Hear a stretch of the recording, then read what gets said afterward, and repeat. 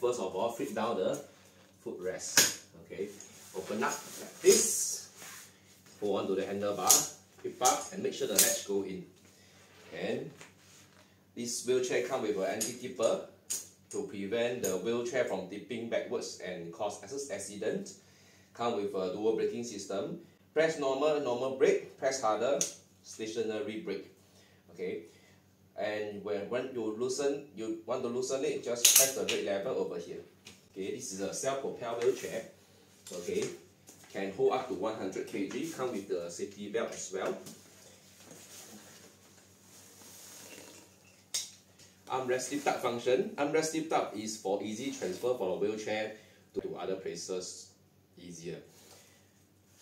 And come with the user brake as well. The most beautiful part about this wheelchair is a footrest. Okay. For those user that has a longer leg, okay, you can adjust the footrest to be reach out further. Just press the latch over here, press inwards and stretch it out. So the leg can rest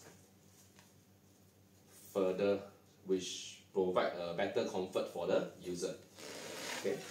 Self-propel functions is very useful for those user that upper body is still active because it is a form of workout for them and they will not be stuck at one place helplessly if there is no other assistant around.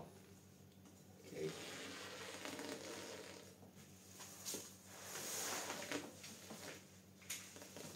Thank you.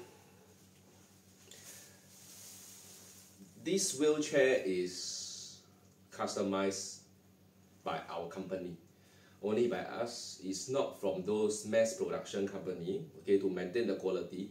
This is made from aluminum alloy which is lightweight and durable and sporty design. How do you keep this wheelchair? Very easy. Press the lever inwards flip down the push bar,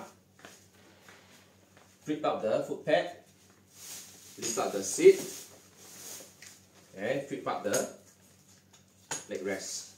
It's very compact and very lightweight, easy to keep in car boot, very lightweight and extremely durable.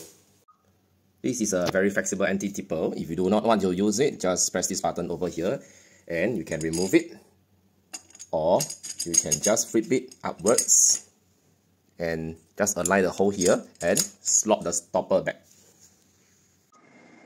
At any point of time you want to shorten the footrest, just press the button right below here and you can just shorten it to different level.